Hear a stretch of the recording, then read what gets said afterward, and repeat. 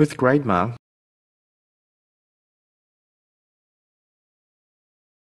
you can easily drag and drop pre-made comments to a specific area within the paper. You can also add and save your own comment so you don't have to type it again. To do this, click on the blue comment button. Enter your comment, then click on Save as New QuickMark. Give it a title and put it under a set. I usually pick commonly used if I know I'm going to use it often. Then click Save. You can select the comment set that you'd like to drag by clicking on this menu icon. I'll choose commonly used now and as you can see the comment I just saved is already there and it will stay there for all other assessments I will mark in the future using Turnitin. For one-off comments you can also highlight a part in the paper and write your own comments for it. Make sure the bubble comment is selected when you do this.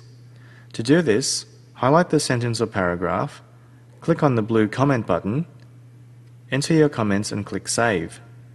Remember, if you think you'll use this particular comment again, save it as a QuickMark.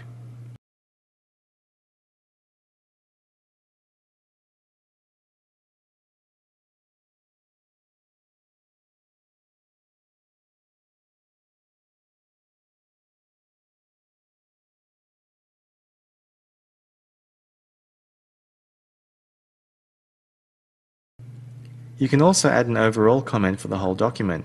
By clicking on the General Comments button down here, the students will see all of these comments when they open their submissions after the post date.